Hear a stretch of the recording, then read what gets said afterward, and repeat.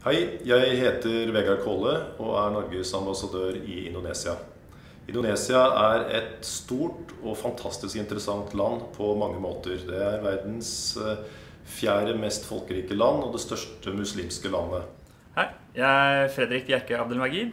Og uh, Innovasjon Norge vi har interns uh, fra UiA. Hei, jeg er Anders Bolin. Jeg er sjef for Jotun i Indonesia.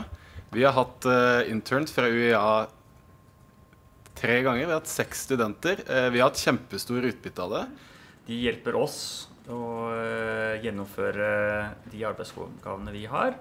Og de hjelper å profilere Norge og er generelt sett en stor ressurs for oss.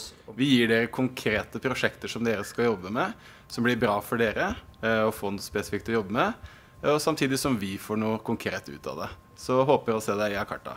Jeg må bare si, Hvis du vurderer å dra til utlandet, så bør du, bør du hive deg rundt og være med på en, den denne internship-ordningen med en gang. Det er eh, tror jeg, den beste erfaringen du noen gang vil ha.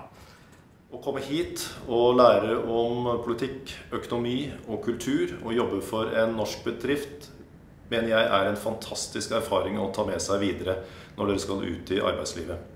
Jeg håper at mange vil være interessert i å melde seg på internship-programmet og bruke ett semester av studietiden her i Jakarta.